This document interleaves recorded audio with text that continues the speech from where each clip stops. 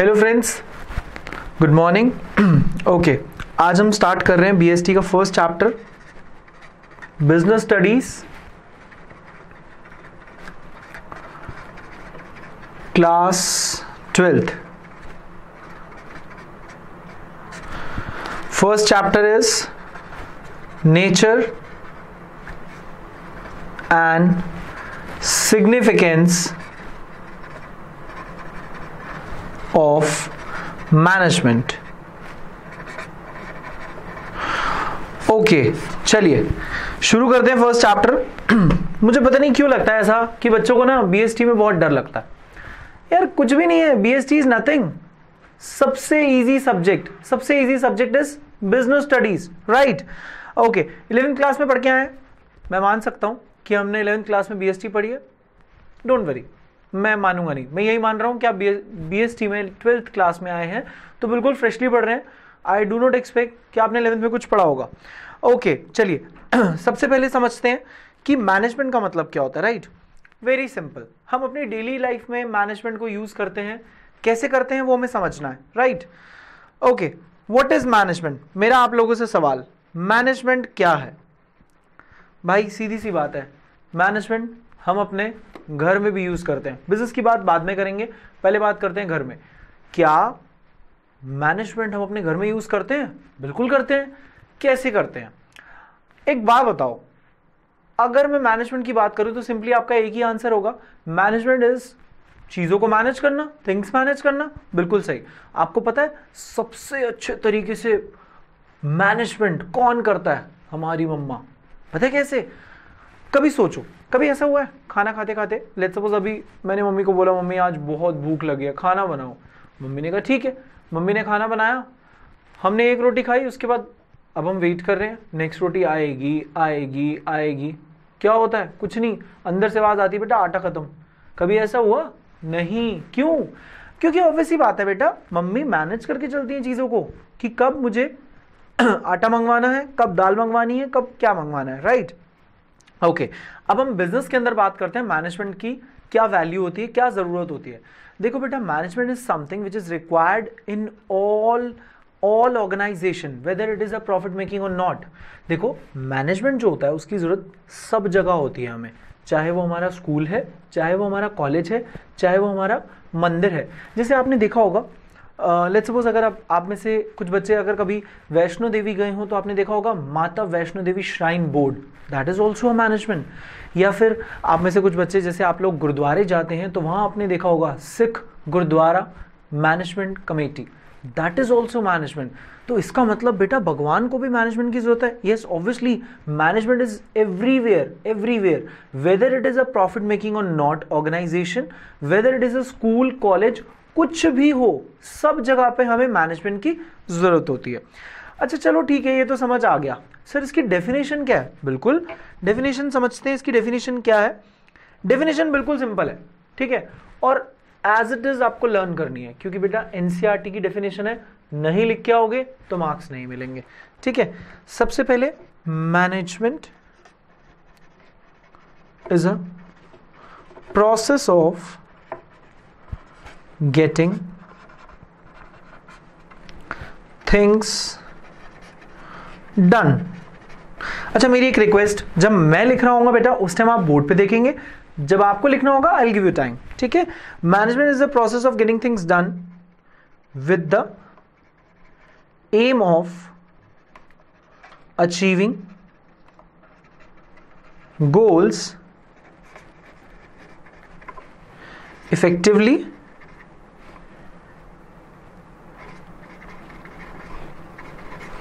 and efficiently okay समझते हैं इसको बेटा, क्या कह रहा है? देखो, वो कहता है कि मैनेजमेंट एक प्रोसेस है मैनेजमेंट एक प्रोसेस है, जहाँ पर हम गेटिंग थिंग्स डन जहाँ पर हम दूसरों से अपना काम करवाते हैं। बेटा मैनेजमेंट का मतलब ही यही है, एक मैनेजर क्या करता है? आपको लगता है कि मैनेजर काम करता है? कुछ नहीं करता, सिर्फ़ अपना काम मैनेज करता है, दूसरों से करवाना कैसे है? यही तो मैनेजमेंट है right management is the process of getting things done with the aim of with the aim of primary aim क्या होता है? Achieving organisational goal achieving goals हमारी ऑर्गेनाइजेशन का गोल पूरा करना, यही मैनेजमेंट का काम है इफेक्टिवली एंड एफिशिएंटली ओके ये दो टर्म्स अभी डिस्कस करते हैं इफेक्टिवली एंड एफिशिएंटली क्या होता है? एक बार इसको दोबारा से पढ़ते हैं।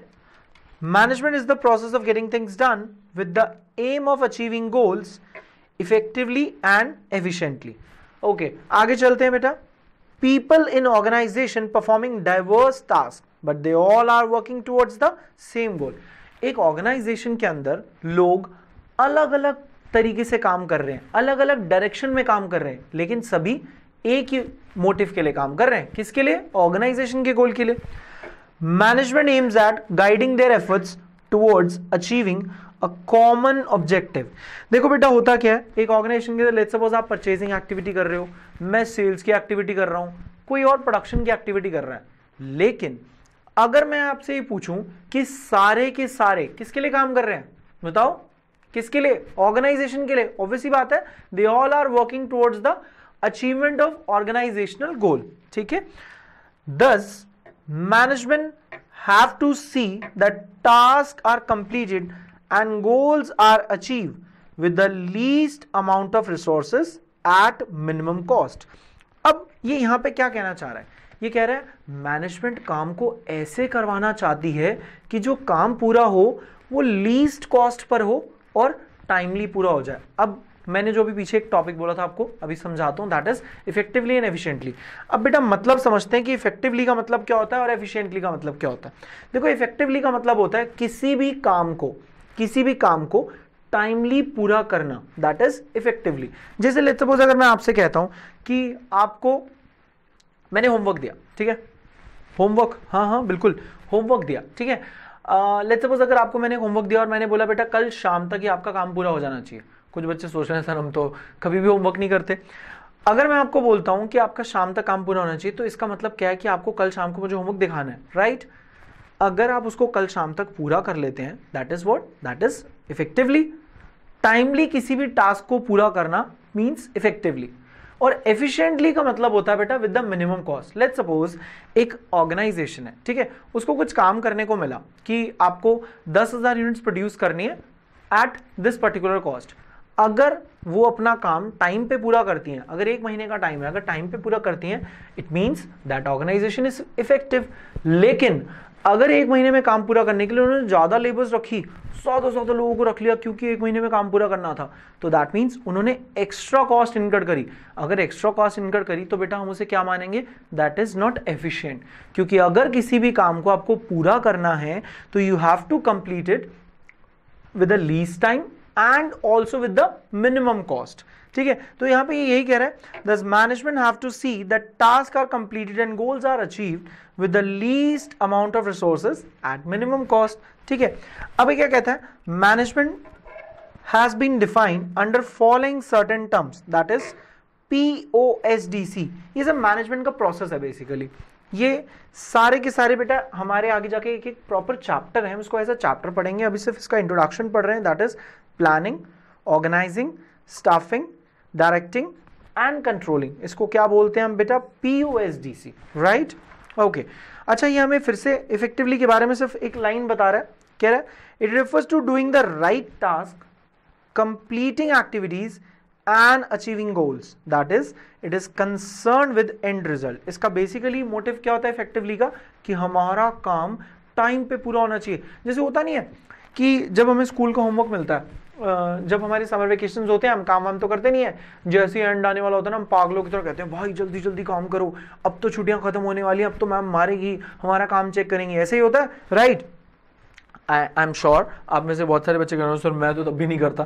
है ना? चलिए, कोई बात नहीं, जो करते हैं दैट्स रियली वेरी गुड जो नहीं करते हैं, उनके लिए यही कहूँगा, बेटा, कर लेना चाहिए। नेक्स्ट टॉपिक इज़ एफिशिएंसी बेटा नेक्स्ट किसकी बात कर रहे हैं? एफिशिएंसी की। ध्यान से समझते हैं प्लीज़ आपस में बातें मत करिए। अभी क्या कह रहे हैं? It refers to doing the task correctively with minimum cost अगर हम अपने काम को सेम काम को कम पैसों में करते हैं, बेटा एक बात बताइए, आप कंपनी में प्रॉफिट कैसे कमाएँगे? आप कंपनी में प्रॉफिट कैसे कमाएँगे? ऑब्वियस ही बात है, अपनी कॉस्ट को कम करके। जब मेरी कॉस्ट कम होगी, मेरा प्रॉफिट ज़्यादा होगा तो ऑब्वियसली बात है ना अगर मैंने लेट सपोज़ सौ रुपये कमाने के लिए सौ रुपये कमाने के लिए मैंने एक हज़ार रुपये लगाया ठीक है? सौ रुपये कमाने के लिए मैंने एक हज़ार रुपये लगाया और नाइन हंड्रेड मेरी कॉस्ट आ रही है इसका मतलब। एक हज़ार मैंने लगाया नाइन हंड्रेड कॉस्ट आती है सौ रुपये में कमाता हूँ। अगर मैं बोलूँ कि मैं कुछ ऐसा करके अपनी नाइन हंड्रेड की कॉस्ट को फाइव हंड्रेड पे ले आऊँ तो दैट मीन्स मेरा प्रॉफिट बढ़ जाएगा। ओके okay, तो क्या कहता है? अच्छा एक बार नहीं हमें एक छोटा सा एग्ज़ाम्पल की हेल्प से समझा रहा है कि इफेक्टिवली और एफिशिएंसी में क्या फ़र्क होता है। पढ़ते हैं जरा। It is easier to be effective and ignore efficiency ये कह रहा है, बहुत आसान है। किसी को भी इफ़ेक्टिव बनना हो ना, हम बहुत आसान, आसानी से बन सकते हैं। कैसे? कुछ नहीं है। लेट्स सपोज़ अगर मैं आपको बोलता हूँ कि मैंने आपको एक टारगेट दिया। मैंने आपको एक टारगेट दिया। किस चीज़ का टारगेट दिया? मैंने बोला, आपको दस हज़ार यूनिट्स बनानी है। ठीक है? दस हज़ार यूनिट्स प्रोड्यूस करनी है वन मंथ में। And you know this thing कि आप ये दस हज़ार यूनिट्स ना एक महीने में चाह के भी नहीं बना सकते। लेट्स सपोज़ बेटा मैं कहता हूँ, अगर मान लो दस हज़ार गाड़ियाँ बनानी है, क्या एक महीने में दस हज़ार गाड़ियाँ बन जाएँगी? मेरे ख्याल से मुश्किल है, ठीक है? अब इसके लिए क्या, अगर मैं आपसे बोलूँ एफिशिएंसी की बात करूँ तो एफिशिएंसी क्या है और इफेक्टिवनेस क्या है? मेरे ख्याल से अब तक आपको बेटा ये बात समझ आ गई होगी। इफेक्टिवनेस मतलब टाइम पे पूरा करना, ठीक है? और एफिशिएंसी का मतलब विद मिनिमम कॉस्ट उस काम को पूरा करना।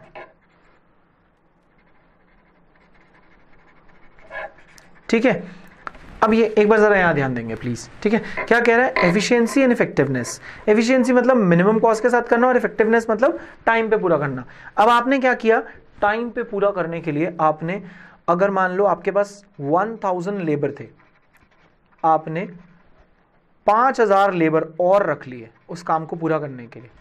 ठीक है? आपका काम ट्वेंटी डेज़ में कंप्लीट हो गया। इसका मतलब यू आर इफ़ेक्टिव लेकिन अगर मैं आपसे पूछूँ, क्या आप एफिशिएंट हैं? नहीं। क्योंकि आपने ये जो पाँच हज़ार लेबर एक्स्ट्रा रखे, बेटा उसके लिए आपने एक्स्ट्रा कॉस्ट इनकट करी। तो दैट फाइव थाउज़ेंड जो आपने एक्स्ट्रा कॉस्ट इनकट करी ऑब्वियसली बात है कि आप एफिशिएंट कहाँ हुए। आप ज़्यादा प्रॉफिट नहीं कमा पाए। आपने लीस्ट कॉस्ट के साथ उस काम को नहीं किया। राइट तो इसका मतलब ये क्या कह रहा है? एग्ज़ाम्पल की समझते हैं।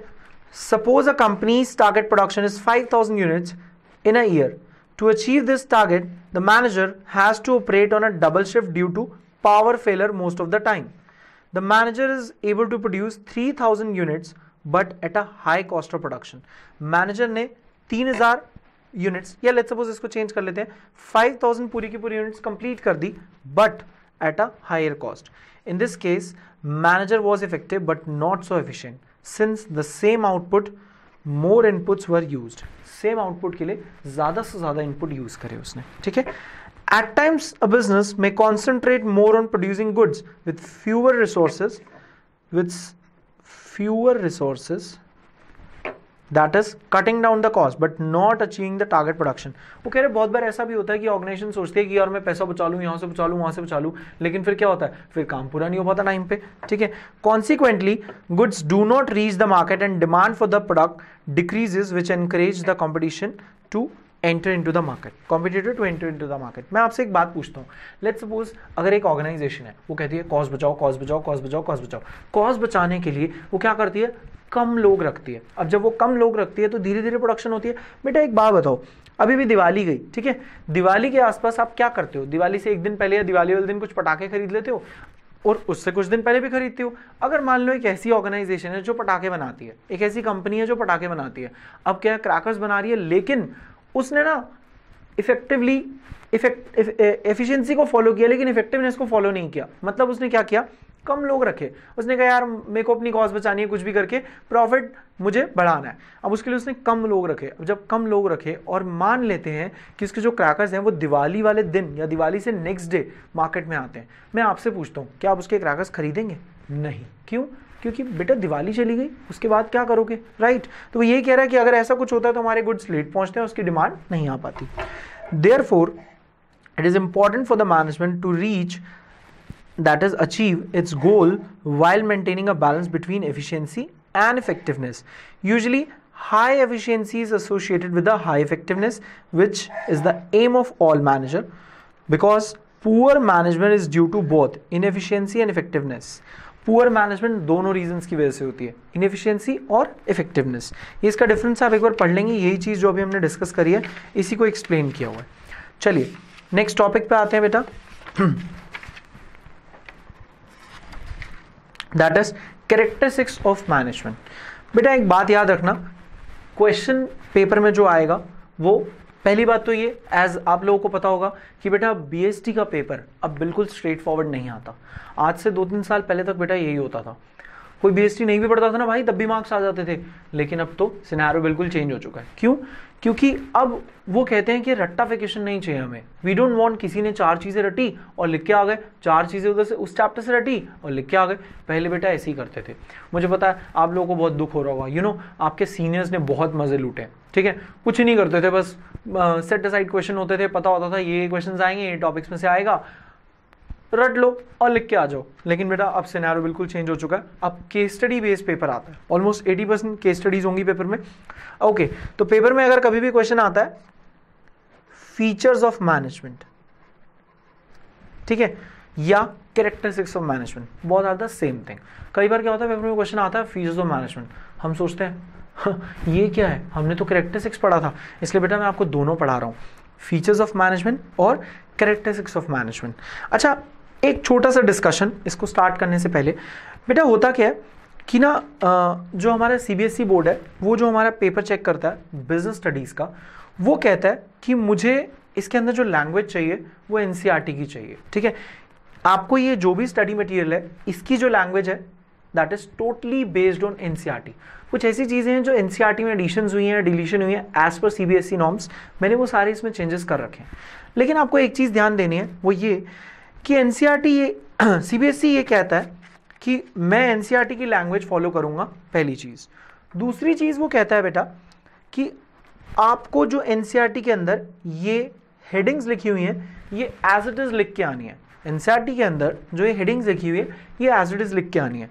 अब होता क्या बेटा? ये एज इट इज़ लिखना ना कभी कभी हमें एक टास्क लगने लग जाता है कि यार हम एज इट इज़ कैसे लिख सकते हैं? हमारे लिए तो पॉसिबल ही नहीं है। बेटा, सब कुछ पॉसिबल है।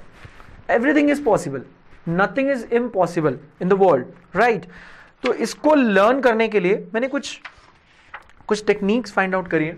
Might be it will help you I am sure वैसे ये आपको हेल्प करेगी। कैरेक्टरिस्टिक्स ऑफ़ मैनेजमेंट मैं लिखने के लिए टाइम दूँगा प्लीज़ सिर्फ़ बोर्ड पे देखेंगे आप लोग. ओके okay, इसको लर्न करने का तरीका जितने भी इसके पॉइंट्स है बेटा उसको लर्न कैसे करेंगे वो समझते हैं. लर्न करने के लिए एक छोटा सा कोड है. छोटा सा कोड है that is pig goes M C D pig goes M C D ठीक है? आपको इसी की हेल्प से पूरे जितने पूरी बीएसटी के अंदर जितने कोड्स हैं ना बेटा सारे लर्न हो जाएँगे। सारे के सारे हेडिंग्स आपको इसकी हेल्प से लर्न हो जाएँगे। मैं आपको यही तो कह रहा था स्टार्ट करने से पहले बेटा BST is very easy quickly सिर्फ़ बस मुझे एक ही कमिटमेंट चाहिए आपसे। वो ये कि जो मैं आपको पढ़ा रहा हूँ बस आपको उस, उसको एक बार लेक्चर के बाद खुद से ज़रूर पढ़ना। जो मैं आपको पढ़ा रहा हूँ। जितने भी ये कोर्स लिखवा रहे हैं, उन सबको रिवाइज करना बस यही काम है आपका। इसके अलावा कुछ भी नहीं करना। सिर्फ़ लेक्चर में बैठो एंड बीएसटी लर्न लेक्चर में बैठो बीएसटी लर्न अब देखना, आपको पता भी नहीं लगेगा फ़र्स्ट चैप्टर खत्म। ठीक है, चलो। अब कुछ बच्चों को क्यूरोसिटी हो रही होगी माइट भी कि ये पिगोज एमसीडी है क्या? कुछ नहीं है nothing P I G goes M C and D ठीक है? अब पिकोज एमसीडी से है क्या? सबसे पहला point this is all pervasive अभी मैंने आपको इसका मतलब नहीं सिखाया, अभी सिखाऊँगा। Next is it is an intangible force management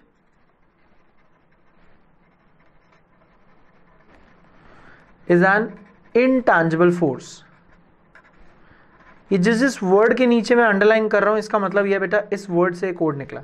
ठीक है? Next is group goal. Management is a group goal. Next is goal oriented.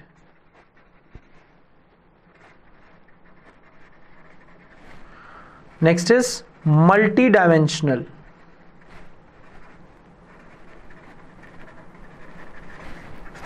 Next is continuous. It is a continuous process. Dynamic that's it बेटा, ये इसको learn करने का तरीका है, ठीक है? कभी भी अगर हम जब भी पढ़ेंगे कैरेक्टरिस्टिक्स आएगा कहीं पे, मैं क्या बोलूँगा?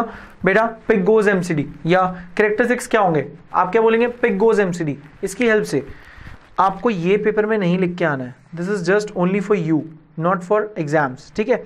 एक बार इसको नोट कर लीजिए फटाफट, जल्दी से, फिर हम इसको डिस्कस करते हैं।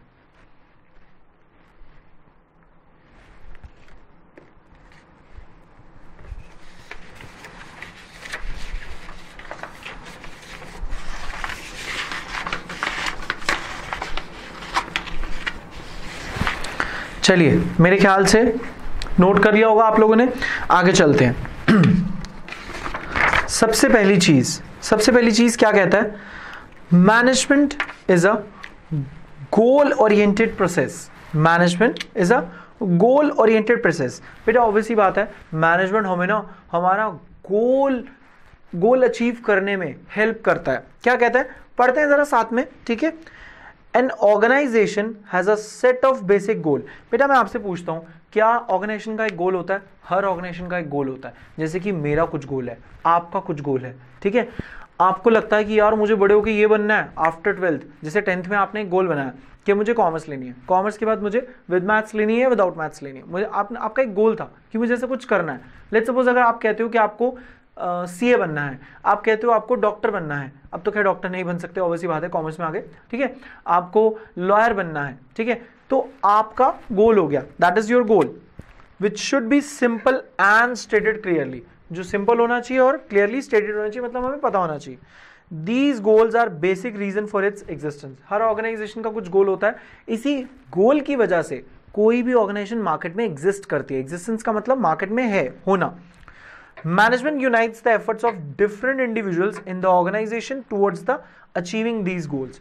बेटा, क्या कहता है कि मैनेजमेंट जितने भी एक ऑर्गेनाइजेशन में लोग काम करते हैं, आप देखो, अभी हमने पढ़ा था मैनेजमेंट की डेफिनेशन में कि मैनेजमेंट इज़ समथिंग जहाँ पे बहुत सारे लोग डिफरेंट डिफरेंट डायरेक्शन में काम कर रहे हैं for a particular organizational goal तो जितने भी लोग अलग अलग डायरेक्शन में काम कर रहे हैं, उन सबके एफर्ट्स को जोड़ के ऑर्गेनाइजेशन के गोल को पूरा करता है for example The goal of a retail store may be to increase its sale, but the goal of the Spastic Society of India is to impart education to the children with special need. Thus, different organization have different goal. बेटा हर organisation का अपना कुछ गोल है late suppose अगर मैं कहता हूँ एक एनजीओ है जैसे इसने कहा एक एनजीओ है एनजीओ का गोल क्या है कि कुछ बच्चों को फ्री पढ़ाना फ्री एजुकेशन प्रोवाइड करना दैट इज़ वॉट उनका गोल है लेकिन एक कंपनी जो गाड़ियाँ बेच रही है, उसका क्या गोल है? ज़्यादा से ज़्यादा कस्टमर्स को अट्रैक्ट करना और अपनी गाड़ी बेचना।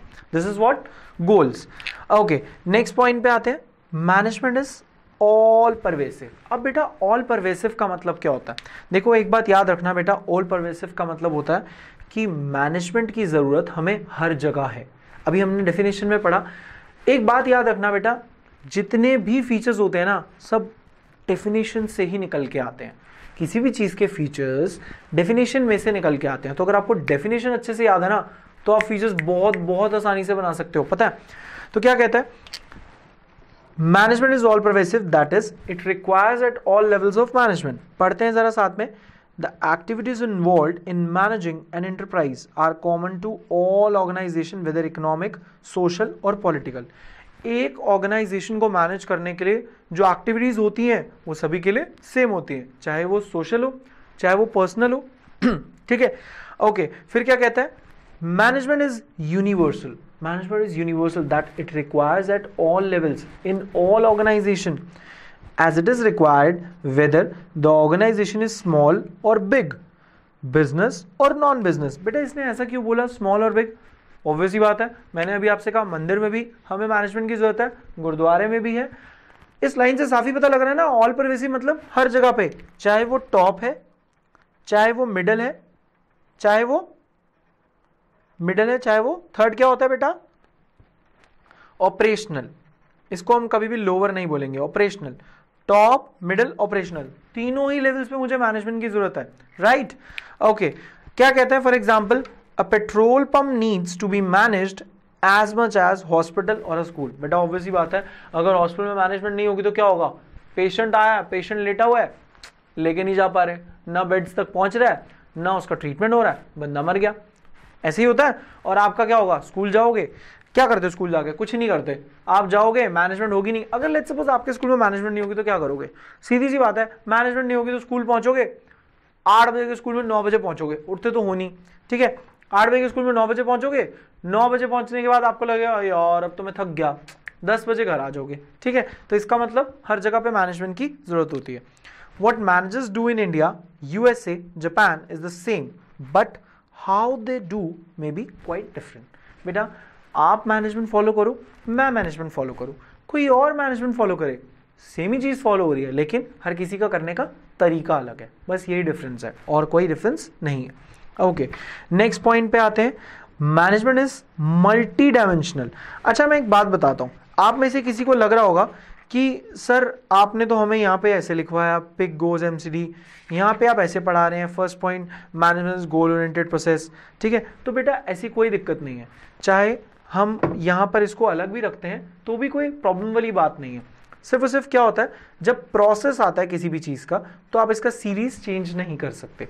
लेकिन यहाँ पे you can change the series आराम से, कोई दिक्कत नहीं है। ठीक है? चलो, आगे चलते हैं। थर्ड पॉइंट पे। थर्ड पॉइंट क्या कहता है बेटा? मैनेजमेंट इज़ मल्टी डायमेंशनल मैं आपसे एक बात पूछता हूँ। मल्टी का मतलब समझते हो क्या होता है? समझते हो? ठीक है।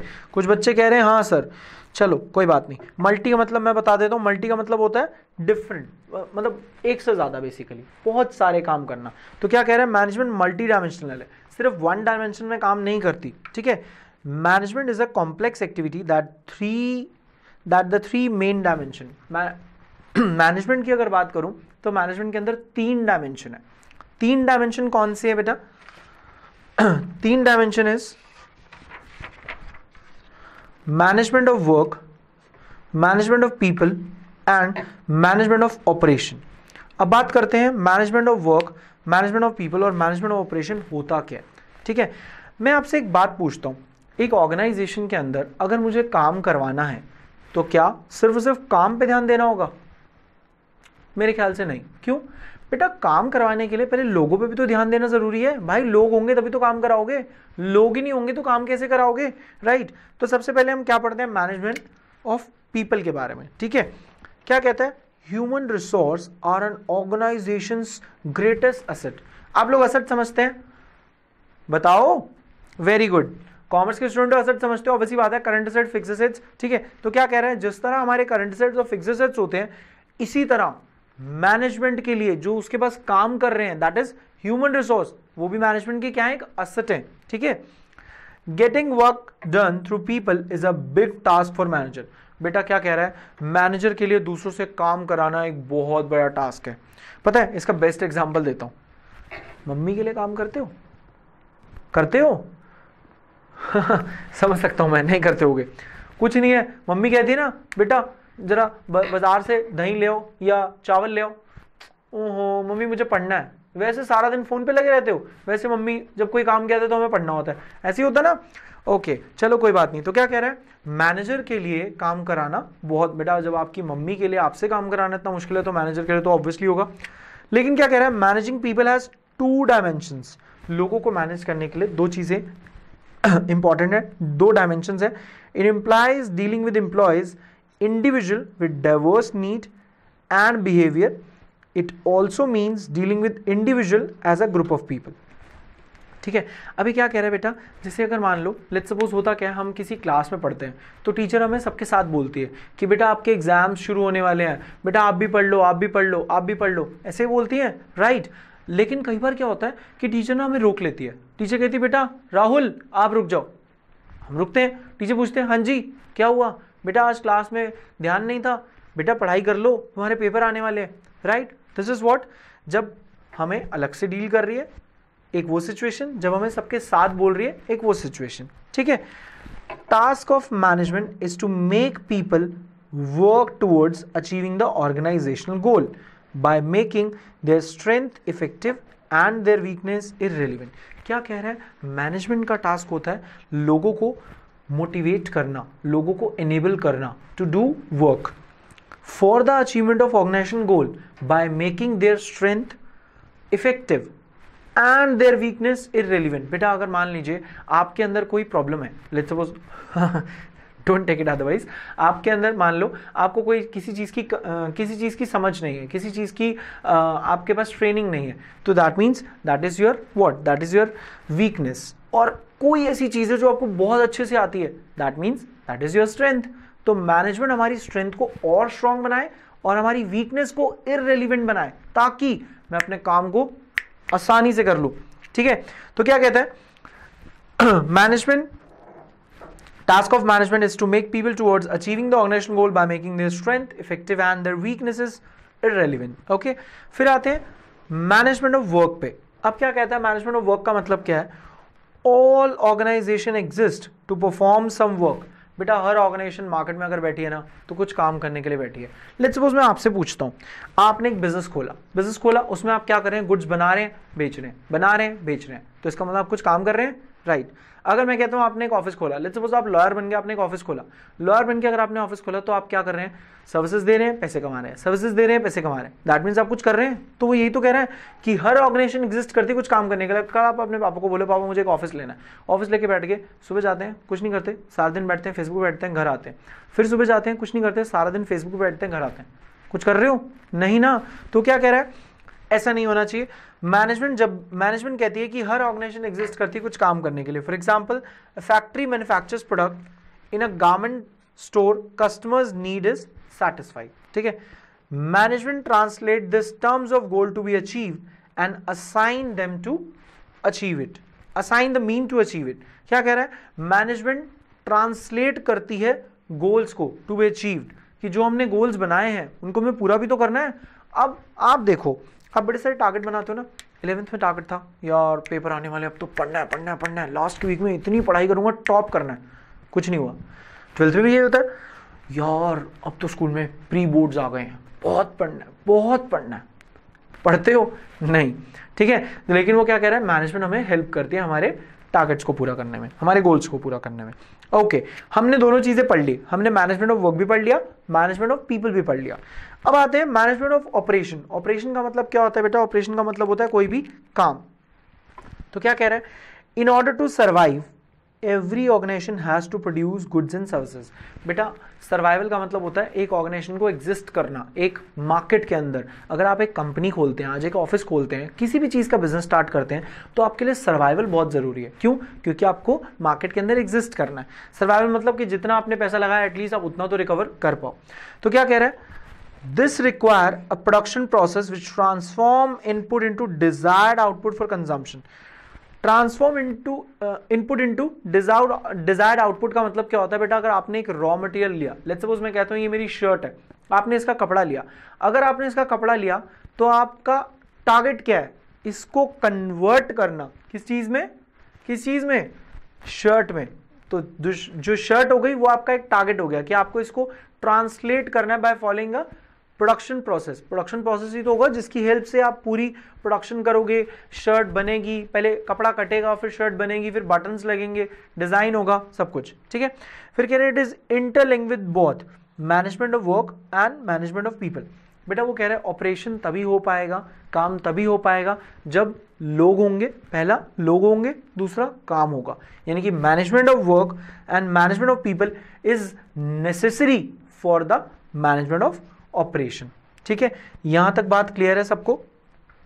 ओके वेरी गुड आगे चलते हैं अब थोड़ा सा।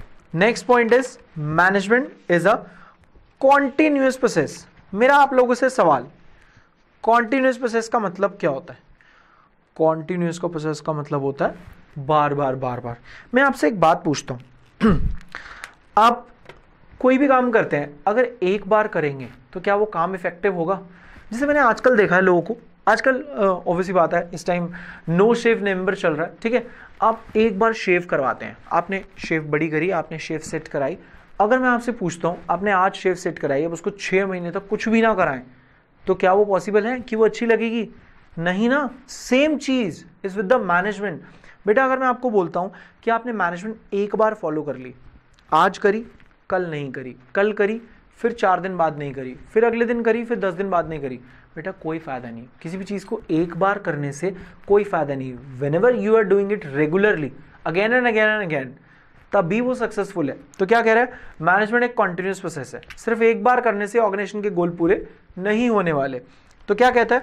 All the functions of management that is planning organizing staffing directing and controlling are perform by all the managers at continuous basis ठीक है? अच्छा इसने क्या बोला? All the managers all the managers क्यों? क्योंकि बेटा ऑल परवेसिव है, ठीक है? फिर क्या कहता है? All these functions are simultaneously perform by the managers साथ साथ साथ साथ सारे काम होते जाए, ठीक है? Task of manager consist of an ongoing series of function for example manager at Big Bazaar perform several different functions in a single day like planning solving employees issues checking stock managing sale schemes तो बेटा देखो कितना सारा काम कर रहा है ना। तो क्या कह रहा है? साइमल्टेनियसली सारे काम साथ साथ होने चाहिए। ये नहीं कि अगर हम सिर्फ़ सिर्फ़ इस चीज़ में सोच रहे हैं कि यार चलो मैनेजमेंट कर रहे हैं, अब इसके अलावा कोई और काम नहीं करना। You have to do all the task ठीक है? ओके नेक्स्ट पे आते हैं बेटा। Management as a group activity अब इसका मतलब क्या है? इसका मतलब बिल्कुल सिंपल है। मैं आपसे बोलता हूँ, अगर मेरी ऑर्गेनाइजेशन में दस लोग काम करते हैं, बेटा उस दस में से सिर्फ़ और सिर्फ़, दस में से सिर्फ़ सिर्फ़ दो लोग फॉलो कर रहे हैं मैनेजमेंट को, बाकी नहीं कर रहे हैं। ढीट है। मानते ही नहीं है। कितना मर्ज़ी बोल लें। आपकी क्लास में भी तो ऐसे ही होता है। आपकी टीचर कहती है होमवर्क करके लाना। क्लास में सिर्फ़ दो ही बच्चे करते हैं। ठीक है? तो बेटा, ये गलत है। क्यों? वो क्या कहता है? मैनेजमेंट किसी एक के या दो के फॉलो करने से नहीं चलेगा। management is a group activity it is followed by all people of the organisation that is throughout the organisation follow होनी चाहिए ठीक है क्या कहते हैं an organisation is a collection of diverse individual with different needs every member of the group has a different purpose for joining the organisation but as a member of the organization, they work towards the fulfilling common organization goal. बेटा, क्या कह रहे हैं? हर organisation के अंदर जो लोग आ रहे हैं ना, वो अलग अलग मोटिव से आ रहे हैं। लेट्स सपोज़ किसी को कुछ काम है, आपको अपनी बहन के लिए पैसा कमाना है, मुझे अपनी मम्मा के लिए पैसा कमाना है, किसी को अपने फादर के लिए पैसा कमाना है, लेकिन सारे जब ऑर्गेनाइजेशन में आके काम कर रहे हैं तो किसके लिए काम कर रहे हैं? For the organization goal right फिर कहते हैं this require team work and coordination इसके बारे में पढ़ेंगे अभी कोऑर्डिनेशन के बारे में of individual efforts in a common direction right मतलब सभी सब, सबके सब एक पर्टिकुलर डायरेक्शन में काम करेंगे। Management should also enable its member to grow and develop as needs and opportunities changes बेटा क्या कह रहा है? मैनेजमेंट एनेबल करे मोटिवेट करे अपने ऑर्गेनाइजेशनल पीपल को to grow and development grow का मतलब क्या होता है? किसी भी अपने बिज़नेस को बढ़ाना एक्सपैंड करना। Development is also something like that okay तो क्या कह रहे हैं? As needs and opportunities changes बेटा ऑब्वियसली बात है टाइम टू टाइम हमारी अपॉर्चुनिटीज़ बदलती है नीड्स बदलती हैं तो हमें अपने बिज़नेस को according to that needs change करना पड़ेगा। Right right? फिर आते हैं नेक्स्ट पॉइंट पे मैनेजमेंट इज़ डायनामिक फ़ंक्शन मुझे ये सबसे मस्त पॉइंट लगता है। ठीक है? इसमें एक एग्ज़ाम्पल देता हूँ, बहुत मस्त क्या कह रहा है? Management dynamic function dynamic function का मतलब क्या होता है बेटा? डायनामिक फ़ंक्शन का मतलब होता है कि हमें अपने मैनेजमेंट को according to the situation according to the situation change करना पड़ेगा। It's like adaptability that is adapt itself according to the changing environment जैसे मैं आपको एक छोटा सा एग्ज़ाम्पल देता हूँ। माइट भी आप सब लोगों ने सुना होगा ऑब्वियसली बात है जाते भी होगे। मैकडोनल्ड्स जाते हो? क्या बात? आवाज़ नहीं आ रही? नहीं जाते? हाँ, अच्छा अच्छा अच्छा जाते हो? ठीक है ठीक है ठीक है। आप मैकडी जाते हैं? वहाँ पे क्या खाते हैं जनरली अगर वेज खाने की बात होती है तो। वेज खाते हैं हम ज़्यादा से ज़्यादा मैक वेजी खा लेंगे या मैक आलू टिक्की खा लेंगे। आप में से, मुझे नहीं पता आई एम नॉट श्योर आप में से अगर कोई बाहर गया हो तो आपने देखा हो, पता है? अगर आप बाहर के मैकडी में जाओगे ना तो वहाँ पे ऐसा नहीं है। वहाँ पे आपको मोस्टली चिकन आइटम्स मिलेंगे। वहाँ पे आपको वेज मिलेगा ही नहीं। आपको पता है, ये जो मैक वेजी और मैक आलू टिक्की है, ये इंडिया से बाहर मिलता ही नहीं है। क्यों नहीं मिलता? पता है, जब मैकडी ने ऐसा सोचा कि वो इंडिया में आके काम करेगी मैकडी ने जब इंडिया में आके काम करने की सोची ना तो उसको लगा कि यार ऑब्वियसली बात है कि हम दो टाइप्स के मीट बेचते हैं, एक तो पॉर्क और एक एक तो पॉर्क का बेचते हैं और एक काउ का, ठीक है? अब उनको था कि अगर हम ये चीज़ इंडिया में बेचेंगे तो obviously it will create a problem for us right ये उनके लिए प्रॉब्लम हो जाएगी। उन्होंने क्या कहा कि जैसे आप कभी मैकडी जाना, आप देखना वहाँ पे लिखा होता है we do not serve beef and pork here we do not serve बेटा ऑब्वियस ही बात है। इंडिया के लिए उन्होंने एक नया मेन्यू प्रिपेयर किया, जिसके अंदर सारी वेज आइटम्स डाली और कुछ चिकन की आइटम्स डाली राइट लेकिन अगर इंडिया से बाहर जाओगे तो ऐसा नहीं है। क्यों? क्योंकि उसको पता था मुझे इंडियन मार्केट में सर्वाइव करना है। अगर ऐसा नहीं करता तो बेटा सर्वाइव नहीं कर पाता। दस दिन में बंद हो जाता। एक और छोटा सा एग्ज़ाम्पल देता हूँ। मैकडी का ही है। अगर आप इंडिया से बाहर जाएँगे ना, वहाँ पे पता क्या होता है? लेट सपोज़ मैं मैकडी में गया। मैंने दो बर्गर्स लिए। मैंने बर्गर लिए, मैंने बोला, भैया, एक पेप्सी भी दे देना। नॉर्मल सी बात है, हम जाते हैं पेप्सी लेते हैं। मैंने एक पेप्सी ली। उसने पेप्सी दी, मैं गया, मैंने एक पेप्सी पी ली। अब मुझे लगता है कि यार, एक पेप्सी की और नीड है। कुछ नहीं करना। आपने काउंटर पे जाना है। आपने कहना है, भैया can you please refill it वो ग्लास लेगा, उसको रिफिल करेगा, आपको वापस दे देगा। दैट्स रियलिटी मतलब जब मैंने ये पढ़ा आई वॉज़ लिटरली शॉक्ड मैंने कहा, ये तो कुछ भी नहीं है। हमारे इंडिया में तो ऐसे होगा। हम, जैसे लेट सपोज़ क्या होगा? हम सारे जाते हैं, ठीक है? आठ लोग गए, दस लोग गए। कुछ नहीं करना। काउंटर के पास ही खड़े हो जाएँगे, ठीक है? भैया, एक पेप्सी पी, भैया रिफिलेट फिर दूसरे ने पी, भैया रिफिलेट तीसरे ने पी, भैया रिफिलेट पूरी फैमिली एक ही ग्लास की कॉस्ट में पी जाएगी। दैट वॉज़ द रीजन उन्होंने इंडिया में इस चीज़ को नहीं रखा। राइट? right? क्योंकि दे जस्ट वॉन्ट कि हम इंडिया के अकॉर्डिंगली अपनी चीज़ों को मेंटेन करें। This is what this is dynamic they have to be change according to the environment एक और छोटा सा एग्ज़ाम्पल याद आया मुझे। आपको पता है इंडिया से बाहर कभी अगर आप मेट्रो में जाएँगे तो वहाँ पे ऐसा नहीं होता कि आप टोकन टच करो तभी आप अंदर जा पाओगे। ऐसा वाला सिस्टम नहीं है यार। हमारे इंडिया में तो पता है, कुछ नहीं करना लोगों ने, ठीक है? अगर ऐसा कुछ होगा ना सब के सब अंदर घुस जाएँगे, ठीक है? और टिकट लेंगे नहीं। वहाँ पे ऐसा नहीं होता। वहाँ पे सबको पता है कि यार, अगर हम मेट्रो में आए ना तो हमें टिकट लेनी है। वो टिकट लेते हैं, अंदर जाते हैं और ट्रैवल करते हैं और घर चले जाते हैं। लेकिन यहाँ पर क्या है? उनको पता था, अगर हमने ऐसा रखा ना तो लोग ऐसे निकल जाएँगे, टिकट खरीदेंगे नहीं। तो इसलिए उन्होंने टोकन सिस्टम रखा कि टोकन टच करेंगे, तभी अंदर जा सकते हैं। ठीक है? चलो, एक बार इसको रीड करते हैं। Management is a dynamic function and is it has to adopt it adapt itself to the changing environment right an organization interacts this is interacts interacts with its external environment which consists of various social economic and political factors in order to be successful अच्छा ये क्या कह रहा है एक बार समझ लेते हैं इसको मैनेजमेंट एक डायनामिक फ़ंक्शन है इसको अपने आप को अडेप्ट करना पड़ता है as per the changing environment जैसे मैंने आपको एग्जांपल दिया An organization interact with its external environment which consists of various social, economic and political factor. एक ऑर्गेनाइजेशन इंटरेक्ट करती है बहुत सारे एक्सटर्नल फैक्टर्स के साथ। एक्सटर्नल फैक्टर की बात करूँ मतलब बेटा ऑब्वियस ही बात है जब आप मार्केट में काम करते हैं तो आप सिर्फ़ अकेले काम नहीं कर रहे। आपके लिए बाहर कॉम्पिटिटर्स भी हैं गवर्नमेंट भी है अदर फैक्टर्स भी हैं राइट फिर क्या कहते हैं in order to be successful an organisation must change its and its goal according to the need of the environment बेटा, अगर आप एक ऑर्गेनाइजेशन की बात करें, अगर आप एक एक पर्टिकुलर इकोनॉमी में, एक पर्टिकुलर मार्केट में काम करते हैं तो you have to be change according to the environment right क्योंकि एनवायरमेंट की ज़रूरत है चेंज करना तो यू हैव टू चेंज आपको चेंज करना पड़ेगा, आपको बदलना पड़ेगा, ठीक है? जैसे यहाँ लिखा है, देखो for example McDonald's made major changes in its menu to be able to survive in the Indian market I think मैंने ये एग्ज़ाम्पल दिया था आपको। ओके okay, चलिए। इसके बाद आगे चलते हैं। Next point that is management is an intangible force मेरे ख्याल से आप सब लोगों को पता इनटैंजिबल का मतलब क्या होता है? अच्छा चलो। इस पे भी एक एग्जांपल देता हूँ। इनटैंजिबल का मतलब क्या कहता है कि इनटैंजिबल का मतलब मैनेजमेंट देखी नहीं जा सकती। आई थिंक आपने पढ़ा होगा इनटैंजिबल एसेट्स क्या होते हैं? वेरी गुड इनटैंजिबल एसेट्स होते हैं which can not be seen और टच्ड ठीक है? अच्छा अगर मैं बात करूँ मैनेजमेंट इंटेंजिबल तो मैनेजमेंट इंटेंजिबल कैसे है? बेटा, एक छोटा सा एग्जांपल लेते हैं। लेट्स सपोज़ आपके पापा ने बोला कि यार, आज घर पे खाने का मन नहीं है। आज हम डिनर करने चलते हैं, ठीक है? आप खुश? मज़ा आ गया? आज तो बाहर खाना मिलेगा? ओके चलो, हम बाहर गए खाना खाने, हम जाके एक रेस्टोरेंट में बैठे, हम जाके बैठे, पाँच मिनट हो गए, कोई वेटर नहीं आ रहा। ऑर्डर तो छोड़ो, पानी पूछने नहीं आ रहा, ठीक है? आपने बोला एक्सक्यूज़ मी बंदा आया। हाँ जी, भैया, पानी तो पिला दीजिए। ओके पानी ले आया। फिर पाँच मिनट हो गए, फिर कोई नहीं आ रहा।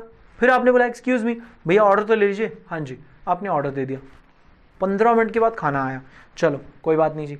उसके बाद आपने फिर कहा कि और रोटी ले आए। दस मिनट हो गए, फिर खाना नहीं आ रहा।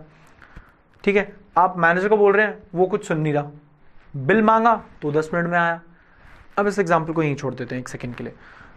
ऑन दी अदर हैंड किसी और दिन आप किसी और रेस्टोरेंट में गए। आप एंटर हुए, वहाँ पे गेट पे पर्सन करता उसने कहा, आइए सर आप जैसे ही टेबल पर भी बैठे ही थे पर्सन आ गया आपके लिए पानी लेके। पानी सर्व किया। जैसे ही वो पानी देके गया, एक और पर्सन आ गया। हाँ जी सर क्या लेंगे आप? अपना ऑर्डर बताइए। सोच रहे हो? डिफरेंस फील कर रहे हो? दोनों दोनों केसेस में। अब क्या हुआ? जैसे ही आपने ऑर्डर किया within ten minutes seven to eight minutes in fact I can say खाना आ गया। ठीक है? खाना जैसे ही आया, वो पर्सन आया, उसने आपको ऐसे सर्व किया प्रॉपर खाना वाना देखे गया। ठीक है? उसके बाद अभी दो चार मिनट ही वीडियो थे बीच में पूछने आ गया सर कुछ और लेंगे आप? आपने बोला पाँच मिनट हाँ भैया एक रो, दो रोटी ले आइए। सर दो मिनट में रोटी आ गई। दिस इज़ वॉट आप देख आपको दिख नहीं रही है आप मेरी बात समझ रहे हैं? मेरा पॉइंट को समझने की कोशिश कर रहे हैं? आपको दिख नहीं रहा है कुछ? लेकिन जस्ट फील कर रहे हैं आप। क्यों? क्योंकि सेकंड वाले केस में मैनेजमेंट फॉलो हो रही थी फ़र्स्ट वाले केस में मैनेजमेंट फॉलो नहीं हो रही थी राइट right? Okay okay. एक बार समझते हैं पढ़ के। Management is an intangible force that can not be seen but it presence can be felt ये देखी नहीं जा सकती बट हाँ इसको फील करा जा सकता है। In the way the organisation function जिस वे में ऑर्गेनाइजेशन फ़ंक्शन कर रही है।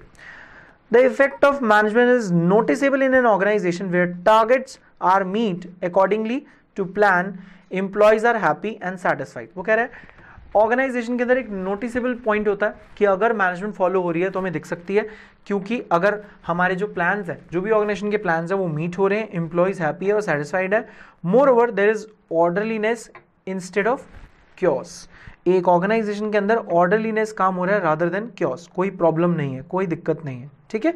ओके वेरी गुड अब एक बार इसके पॉइंट्स दोबारा से पढ़ लेते हैं. सिंपली क्या कहता है? करेक्टरिस्टिक्स ऑफ़ मैनेजमेंट सबसे पहला management is all pervasive management is an intangible force group goal goal oriented multi dimensional continuous process and dynamic एक बार मेरे साथ बोलेंगे फिर से। जैसे जैसे मैं बोलूँगा वैसे वैसे बोलेंगे मेरे साथ साथ। पक्का?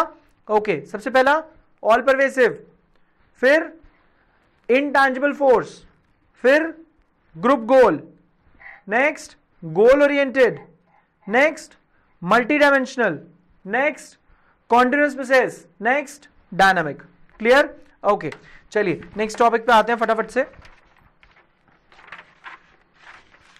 नेक्स्ट हेडिंग डालिए बेटा। Objective objectives of management okay चलिए ऑब्जेक्टिव जो होते हैं मैनेजमेंट के, वो तीन तरीके के होते हैं बेटा। ठीक है? कितने तरीके के होते हैं? तीन। इसका, इसको लर्न करने का भी एक तरीका मतलब मुझे लगता था, वैसे मेरे ख्याल से इसके लिए होना नहीं चाहिए था, फिर भी मैंने बना दिया। अच्छा चलो पहले लिख लेते हैं टाइप्स ऑर्गेनाइजेशनल ऑब्जेक्टिव फिर social objective next is personal objective okay इसको लर्न करने का तरीका है बेटा। This is O S P that is online shopping password किसी को बताना नहीं होता ऑनलाइन शॉपिंग पासवर्ड है ना? नहीं तो हमारे आईडी पे कुछ ना कुछ गड़बड़ कर देगा ना? ओके नेक्स्ट ये ऑर्गेनाइजेशन ऑब्जेक्टिव फर्दर तीन चीज़ों में डिवाइड होता है बेटा। वन इज़ इसको भी कोड की हेल्प से लर्न करेंगे दैट इज़ जीपीएस जीपीएस पता है आपको क्या होता है? जीपीएस जिसकी हेल्प से हम कुछ भी गाड़ी के अंदर फाइंड आउट कर सकते हैं। मतलब अगर हमें कोई मैप फाइंड आउट करना हो जीपीएस लगा होता है गाड़ी में लाइक मतलब बेसिकली पता लग जाता है कि आपकी गाड़ी कहाँ पर है। जैसे आपकी गाड़ी में अगर जीपीएस लगा हुआ है और आपकी गाड़ी चोरी हो गई तो पता लगा सकते हैं कि आपकी गाड़ी कहाँ पर है। ओके इसको हम उल्टा पढ़ेंगे बेटा। Survival profit and growth survival profit and growth. Okay, ये बात सबको क्लियर है? चलो। ये नोट कर लिया आपने? कर लो फटाफट जल्दी से।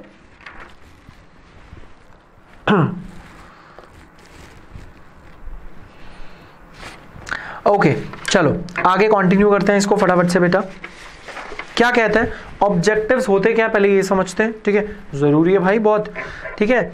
Management seeks to achieve certain objective which are desired result of an activity they must be derive from the basic purpose of the business they must be derive from the basic क्या कह रहे हैं किसी भी organisation में management seeks to achieve certain objective which are desired result of an activity जो ज़रूरत है किसी भी एक्टिविटी को करने के लिए, वो हमारे ऑब्जेक्टिव है। बेसिकली एक ऑर्गेनाइजेशन जो करना चाहती है। डिफरेंट डिफरेंट ऑब्जेक्टिव होते हैं उसके। They must be derive from the basic purpose of the business जो मेरा ऑर्गेनाइजेशन का, मेरे बिज़नेस का बेसिक पर्पज है, वहीं से डिराइव्ड होते हैं। In any organisation there are different objective and management has to achieve all objective in an effective and efficient manner her organisation के अंदर डिफरेंट डिफरेंट ऑब्जेक्टिव्स होते हैं। आपकी ऑर्गेनाइजेशन का अलग ऑब्जेक्टिव होगा, मेरी ऑर्गेनाइजेशन का अलग ऑब्जेक्टिव है, ठीक है? फिर क्या कह रहा है? मैनेजमेंट को सारे सारे के सारे हमारे ऑब्जेक्टिव अचीव करने होते हैं इफेक्टिवली और efficiently objectives can be classified into organisational social and personal objective क्या कह रहे हो? हमारे जो ऑब्जेक्टिव है, वो तीन तरीके से डिवाइड है। One is organisational other one is social next one is personal सबसे पहले बात करते हैं बेटा ऑर्गेनाइजेशनल ऑब्जेक्टिव की, ठीक है? ऑर्गेनाइजेशनल ऑब्जेक्टिव क्या कहता है? मैंने कहा ऑर्गेनाइजेशनल ऑब्जेक्टिव के अंदर तीन चीज़ें। क्या? तीन चीज़ें हैं बेटा जी पी और एस लेकिन इसको हम उल्टा पढ़ेंगे। कैसे? सर्वाइवल प्रॉफिट एंड ग्रोथ सबसे पहले बात करते हैं ऑर्गेनाइजेशनल ऑब्जेक्टिव का मतलब क्या है, ठीक है? क्या कहता है? Management is responsible for setting and achieving objective of an organisation बेटा, किसी भी ऑर्गेनाइजेशन का जो ऑब्जेक्टिव है, उसको सेट करने के लिए या उसे अचीव करने के लिए, दोनों के लिए ही कौन रिस्पॉन्सिबल है? मैनेजमेंट फिर कहता है it has to achieve a variety of objective in all areas considering the interest of all stakeholders including shareholder employee customer and the government management को सिर्फ़ सिर्फ़ मालिकों का फ़ायदा नहीं देखना। जितने स्टेक होल्डर्स जिसने कंपनी में पैसा लगाया है, जितने भी कंपनी के इंप्लॉयज जितने भी कस्टमर्स सबका फ़ायदा देखना है। ठीक है? जस्ट लाइक जियो सबका फ़ायदा देखा उसने। Okay next is the main objective of any organisation should be utilise human and material resources to maximum possible advantage. That is, fulfill the economic objective of business. वो क्या कह रहा है? हमें ये भी देखना है कि मेन ऑब्जेक्टिव क्या ऑर्गेनाइजेशन का? कि यूटिलाइज करना है हमने ह्यूमन और मटेरियल रिसोर्सेज ह्यूमन मतलब हमारे ह्यूमन रिसोर्स और मटेरियल रिसोर्सेज मतलब जो भी हमारे पास मटेरियल है जिसकी हेल्प से हम अपने गुड्स बना रहे हैं उनको टू द मैक्सिमम एक्सटेंट तक यूज़ करना है। ओके okay, इसके लिए तीन चीज़ें हमारे पास सर्वाइवल प्रॉफिट एंड ग्रोथ बेटा सर्वाइवल का मतलब क्या होता है? सर्वाइवल का मतलब होता है आपको पता है लेट्स सपोज़ आपने एक बिज़नेस स्टार्ट किया ठीक है? एग्ज़ाम्पल की हेल्प से समझना तीनों पॉइंट समझ आ जाएँगे। आपने एक बिज़नेस शुरू किया। बिज़नेस शुरू करते समय आपने दस लाख रुपए लगा दिया जब आपने बिज़नेस में दस लाख रुपए लगा दिया, अब एक बात सोचो, क्या आप ये एक्सपेक्ट करोगे कि कम से कम जो मैंने दस लाख रुपए लगाया वो तो रिकवर हो? मतलब कम से कम लेट सपोज़ अगर महीने की मेरी बीस हज़ार रुपये कॉस्ट आ रही है तो बीस हज़ार रुपये कॉस्ट तो हो मतलब बीस हज़ार रुपये कॉस्ट तो रिकवर हो। जो मैंने सामान दुकान पे रखा, कम से कम बिके तो सही। ज़्यादा प्रॉफिट पे ना सही कॉस्ट कॉस्ट पे सही या कम कम पे बिके, लेकिन बिके तो सही। That is my survival which is necessity of an organisation to survive in the market फिर आते हैं बेटा प्रॉफिट पे। जैसे जैसे बेटा हमारा टाइम पीरियड बीतता जाता है, हम फ़ेमस होते जाते हैं, वैसे वैसे हमारी ऑर्गेनाइजेशन थोड़ी थोड़ी बढ़ती जाती है। लोगों को पता लगता जाता है मेरे बिज़नेस के बारे में। लोग आना स्टार्ट कर देते हैं। फिर क्या करते हैं? लोग मेरा सामान खरीद लेते हैं। और ज़्यादा खरीदते हैं, और ज़्यादा खरीदते हैं। तो इसका मतलब क्या हो रहा है? अब मेरी नंबर ऑफ़ यूनिट्स ज़्यादा बिक रही हैं, ज़्यादा यूनिट्स बिक रही हैं तो मुझे कुछ कुछ प्रॉफिट होने लग गया। तो मतलब मेरी कॉस्ट तो निकल रही है, उसके अलावा भी मुझे कुछ प्रॉफिट मिल रहा है। ये तो हो गया सेकेंड स्टेज फिर आते हैं थर्ड स्टेज पर थर्ड स्टेज क्या होती है बेटा? अब। अब मैंने बहुत प्रॉफिट कमा लिया अब समय आ गया कि मैं बहुत सारा पैसा कमा चुका हूँ तो मुझे अपने बिज़नेस को एक्सपैंड करना है। या तो मेरी एक्सपैंड uh, का मतलब क्या होगा बेसिकली यहाँ पर कि इन टर्म्स ऑफ़ आपने एक नई दुकान खरीद ली आपकी एक छोटी दुकान थी आपने एक बड़ी दुकान भी खरीद ली और छोटी भी है या फिर उसी दुकान को बड़ा कर लिया या आपकी सेल्स बढ़ गई या आपकी मशीनरी बढ़ गई। पहले आपके पास सिर्फ़ एक मशीनरी थी अब कितनी हो गई? चार मशीनरी हो गई। फिर आपके पास छह मशीनरी होगी। This is what this is growth of an organisation right या इन टर्म्स ऑफ़ आपके नंबर ऑफ़ प्रोडक्ट्स बढ़ गए। पहले एक प्रोडक्ट बेचते थे एक टाइप के, अब चार टाइप के बेचते हो। ठीक है? तो क्या करता है सर्वाइवल में? It is the basic objective of any business ये किसी भी बिज़नेस का एक बेसिक ऑब्जेक्टिव है। In order to survive management must earn enough revenue to cover cost अगर सर्वाइव करने की बात करें तो सर्वाइव सर्वाइव करते समय हमें बेसिकली एटलीस्ट जो मिनिमम कॉस्ट है ना हमारी, वो तो रिकवर करनी ही करनी है। फिर आते हैं बेटा नेक्स्ट पे profit mere survival is not enough for business कह रहे, भाई, सिर्फ़ सिर्फ़ खर्चे निकालने से काम नहीं चलेगा। घर में भी तो कुछ पैसे देने हैं, ठीक है? तो profit provide a vital incentive for successful continued operation of the business profit is essential for covering cost and risk of the business profit ज़रूरी है। किस लिए? प्रॉफिट ज़रूरी है मेरी कॉस्ट को कवर करने के लिए प्लस जो बिज़नेस में मुझे रिस्क हो रहे हैं, वो भी तो वहीं से पूरे करूँगा। फिर आते हैं ग्रोथ पे। A business need to add its prospect in the long run and for this it's important business to grow business को अगर कुछ नए एस्पेक्ट्स अपने बिज़नेस के साथ जोड़ना है लॉन्ग रन में लॉन्ग रन में पैसा कमाना है तो उसके लिए ग्रोथ ज़रूरी है। ऑब्वियसली जब आप ये सोचेंगे कि मुझे लॉन्ग रन में पैसा कमाना है तो यू विल ग्रो ठीक है? Growth of a business can be measured in terms of sales volume increase in number of employees number of producers और इंक्रीज इन कैपिटल इन्वेस्टमेंट कि पहले मेरे बिज़नेस में सिर्फ़ दस लाख रुपए लगा था, अब एक करोड़ रुपए लग गया। पहले मेरे बिज़नेस में एक करोड़ लगा था, अब दस करोड़ लग गया। राइट ओके नेक्स्ट पॉइंट पे आते हैं बेटा। Next point is social objective अब सोशल ऑब्जेक्टिव की बात करते हैं बेटा। सोशल ऑब्जेक्टिव क्या होता है? सोशल ऑब्जेक्टिव का एग्ज़ाम्पल होता है बेटा, जैसे कि आपने देखा होगा, आप लोग रजिस्टर्स यूज़ करते हैं। आजकल सभी बच्चे महँगे वाले रजिस्टर यूज़ करते हैं ना? ठीक है? क्लासमेट के रजिस्टर यूज़ करते हैं राइट अपने रजिस्टर की बैक पेज पे देखिए। बैक मतलब बिल्कुल जो लास्ट आपका जो गत्ता लगा हुआ है रजिस्टर पे, उसके लास्ट पेज पे देखिए लास्ट पे बिल्कुल। वहाँ पे ना क्विज वाले की बात नहीं कर रहा बेटा, जो बाहर की साइड है। उस पर लिखा होता है कि when you are purchasing four register उस चार रजिस्टर में से एक रुपया गरीब बच्चों की पढ़ाई के लिए जाता है। बेटा दिस इज़ वॉट ऑर्गेनाइजेशन अपना सोशल ऑब्जेक्टिव पूरा कर रही है। सोसाइटी के लिए कुछ कर रही है। इसी तरह एशियन पेंट एक कंपनी है। वो भी ऑलमोस्ट अपने प्रॉफिट का ट्वेंटी थर्टी परसेंट शायद समथिंग किस, क्या करती है? ट्वेंटी थर्टी परसेंट जितने भी गरीब बच्चे हैं, उनकी पढ़ाई के लिए लगा देती है। या आपने टीवी में एक ऐड देखी होगी, अनुपम खेर की ऐड आती है। पढ़ेगा इंडिया तभी तो बढ़ेगा India that is also the same क्या वो प्रोडक्ट खरीदेंगे? उसको प्रॉफिट होगा? वो वो पैसा जाके यूज़ करेगी। किसके लिए? बच्चों के लिए। गरीब बच्चों की मदद के लिए, उनकी पढ़ाई के लिए। ठीक है? That is also part of social objective अब पढ़ते हैं जरा। Every organisation whether it is a business और non business has a social obligation to fulfil her organisation की एक सोशल रिस्पॉन्सिबिलिटी होती है। This refers to consistently creating economic value for various constituents of the society अच्छा एक बात और बेटा। ज़रूरी नहीं है सिर्फ़ गरीब बच्चों की मदद। कुछ बच्चे ना इस बात को माइंड में बिठा लेते हैं कि अच्छा गरीब बच्चों की मदद करने का मतलब ये है कि हम सोशल कर रहे हैं। ऐसा नहीं है।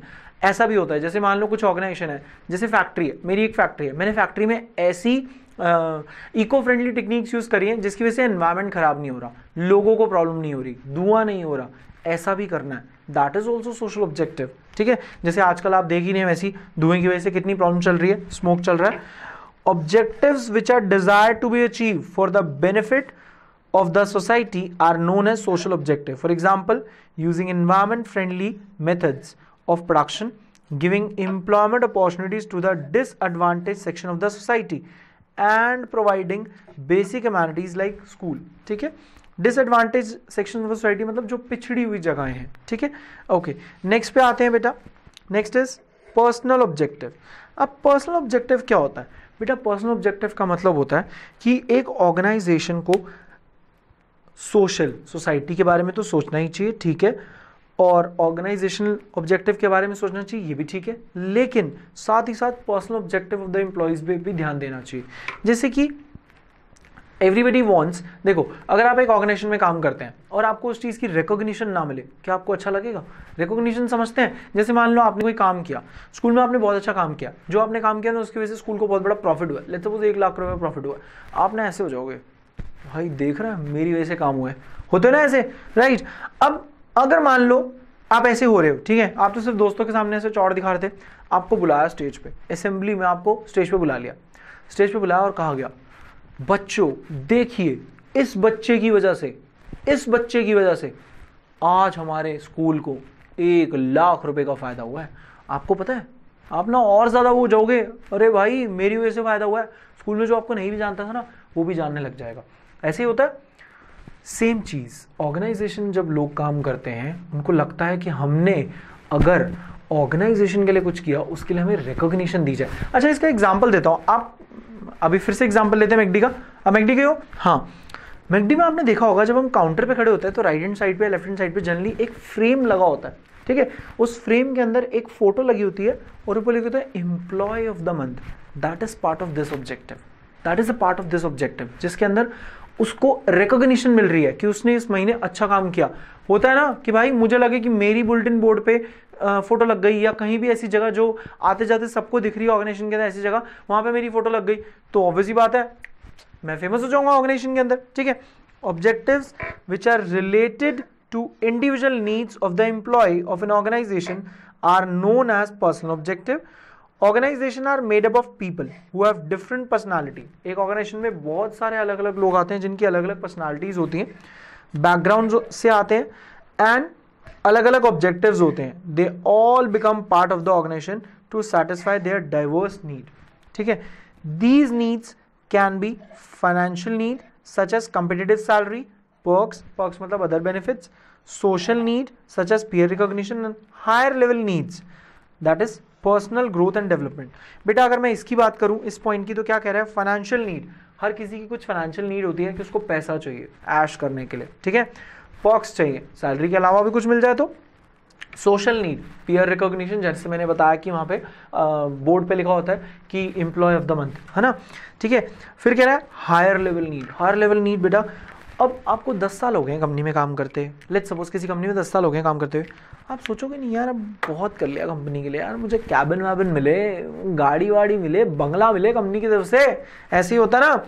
ठीक है तो क्या कह रहा है कि social need such as peer recognition higher level need such as personal growth and development okay तो इसका मतलब इसको कंक्लूड करते हैं लास्ट में कि हमने पढ़ा हमारे ऑब्जेक्टिव्स तीन होते हैं। ऑर्गेनाइजेशनल सोशल और पर्सनल उसके बाद ऑर्गेनाइजेशन फर्दर तीन चीज़ों में डिवाइड होते हैं survival profit and growth social objective मैंने बता दिया when you are doing something for the society personal objective when you are doing for the personal objective of the employ okay बेटा thank you so much आज का lecture हम यहीं पे खत्म करते हैं। बाकी का पार्ट हम नेक्स्ट लेक्चर में करेंगे। ठीक है? Thank you so much for being with us thank you